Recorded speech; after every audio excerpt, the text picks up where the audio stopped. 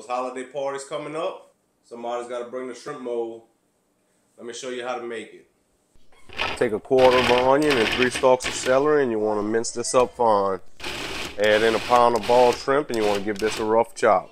So by heating up the tomato soup, melting in the cream cheese. Now you don't really need to cook this, just let that cream cheese melt and you want to season it up with that Boudreaux's a little bit better Creole seasoning. Season it up with a little hot sauce and a little Worcestershire.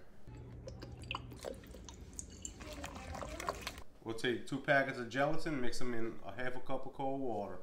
Once it's mixed together, go ahead and whisk it in your tomato mixture until it's smooth. We'll fold in this shrimp mixture, add in those green onions.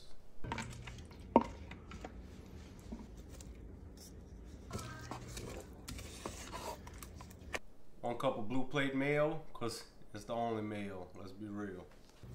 Go ahead and remove it from your heat, taste for seasonings, add some more if you need it, and then stir in that mayo. Add that into your mold and you want to refrigerate that overnight.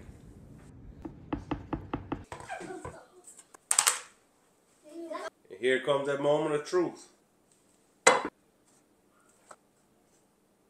We'll go ahead and decorate it up for the holidays. Boudreaux's Backyard and Blue Plate Mayo reminding you to spread the love through these holidays.